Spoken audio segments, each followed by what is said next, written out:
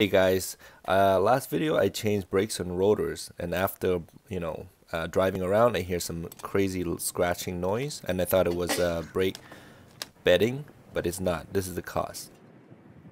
It was that dust cover, there's a small piece that's supposed to be venting or something, but it was loose and it was scraping on the back of my rotor. I just bent it back. Thanks for watching.